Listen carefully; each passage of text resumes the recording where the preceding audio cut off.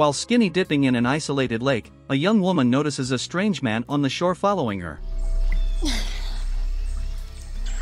the scene starts with us hearing a phone ring, but the call goes to voicemail. The voicemail is from a woman tearfully asking her daughter, Amber, to come back home. Meanwhile, a young couple steals a car and sets off on a joyride. The following morning, the girl wakes up in the middle of a forest in the stolen car, but her boyfriend, Jake, is nowhere to be found. After a moment of panic, she spots him nearby relieving himself, and she calms down. Just then, her phone vibrates with a call from home, but she decides to ignore it. Eventually, Jake returns to the car. Amber asks if they've arrived at Florida yet. Jake says no, and admits he's not sure how to get there. Amber checks the glove compartment for a map, but instead finds a revolver. Jake suggests teaching her how to use it, and they hear a shot as Amber takes her first shot. Jake compliments her, but tells her to keep her eyes open next time. Amber jokes about how she looks with a weapon, and Jake ironically responds that he wouldn't mess with her. Amber points the revolver at Jake, and he tells her to stop joking around, but she orders him to get on his knees. Jake nervously complies, and Amber asks him to count to 10 with his eyes closed. Jake agrees to the role play and starts counting down. However, Amber asks him to count slower, and he obliges. After a few seconds, Jake opens his eyes and sees Amber running away from him while laughing. The couple continues their playful chase until Amber reaches the shore of a small lake, where she strips and jumps into the water.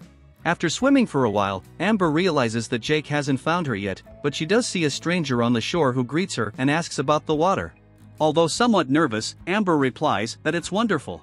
The stranger senses her apprehension and asks if he is scaring her. Trying to remain calm, Amber assures the man that everything is fine and decides to swim along the shore. The stranger slowly walks in her direction, causing Amber to look around and ask if he is following her. He responds by saying he's just enjoying the view. Amber tries to ease the tension by playfully calling him a bad boy. The stranger asks if the nearby car belongs to her, and Amber nervously asks if he has seen her boyfriend. He asks her to swim closer and introduces himself, but Amber's cheerful mood is almost gone. She reluctantly gives him her name while glancing at her clothes and gun. The stranger then asks why she's not in school. Amber responds by saying that she doesn't attend school. The man then expresses concern that he might offend her boyfriend by looking at her and warns her about the danger of the place, where people drown every year by swimming alone. Despite feeling scared, Amber doesn't want to show it and smiles, assuring the stranger that she'll be fine before swimming away from him. The man stares at her intently and compliments her hair, causing tension to escalate. Amber thanks him, and he notices that she seems to be getting tired. He asks if she wants to head to the shore, but Amber decides to wait for her boyfriend. The man assures Amber that he won't look at her as she gets out of the water, but even though she is shivering from the cold, she declines. After a pause, the suspicious stranger expresses doubt that Amber's boyfriend will come. This causes Amber to become extremely alarmed, and she changes her plan, warning the man that if he doesn't leave, her boyfriend will beat him up. The indifferent man is skeptical and shocks Amber by claiming that her boyfriend is already dead.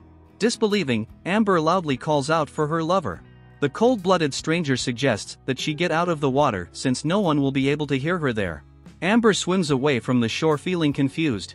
She realizes that the man is no longer there. Feeling exhausted and cold, she decides to get out of the water and begins to shiver as she picks up her clothes. Amber quickly dresses and runs through the forest calling out her boyfriend's name, but there's no answer. Eventually, she finds the car, starts it, and drives away as fast as she can with tears in her eyes. While she's driving, she tries to call Jake, but he doesn't pick up. Then, a hand slowly emerges from the back seat and reaches towards Amber's head. Hope you enjoyed and don't forget to hit that like and subscribe button for more movie recaps.